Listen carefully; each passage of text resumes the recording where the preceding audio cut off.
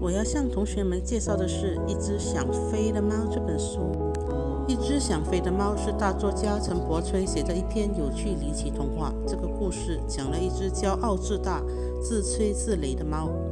作者陈伯吹是中国著名的儿童文学作家、翻译家、出版家、教育家。他把毕生精力奉献给儿童文学事业，是中国儿童文学的一代宗师，在海内外享有极高的声誉。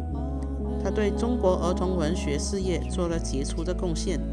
为了鼓励国内作家参与儿童文学创作，陈伯吹于1981年捐出毕生积蓄，创立了儿童文学园丁奖。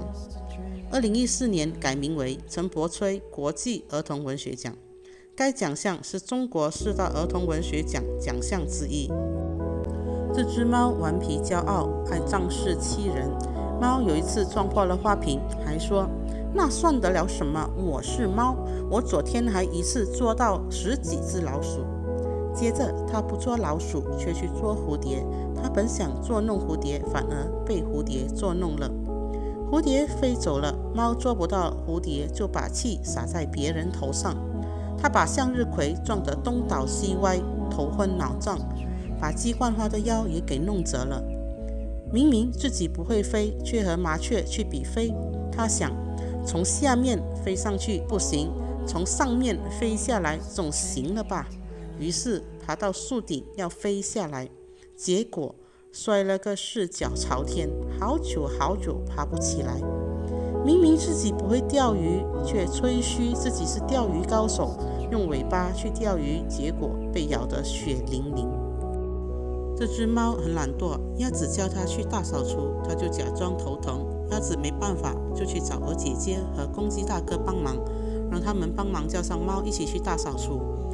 可它在大白天还假装睡觉。小鸭子好心跟它讲讲话，它却很不友好的给鸭子起了个扁嘴的绰号。这只猫还很爱慕虚荣，爱听奉承话，喜欢别人称赞它。仗着自己与老虎有几分相似，就夸口说老虎见了它也要给它磕头。这只猫真是一只顽皮骄傲的猫。大家想想，猫没有翅膀怎么能飞起来呢？鸭子会游泳，公鸡会打鸣，喜鹊会飞翔，猫会捉老鼠。每个动物都有自己的长处和短处，人也不过如此。如果因为自己拥有某个突出的本领，就认为自己了不起的话，迟早要付出代价的。我们心中要牢记这句话：虚心使人进步，骄傲使人落后。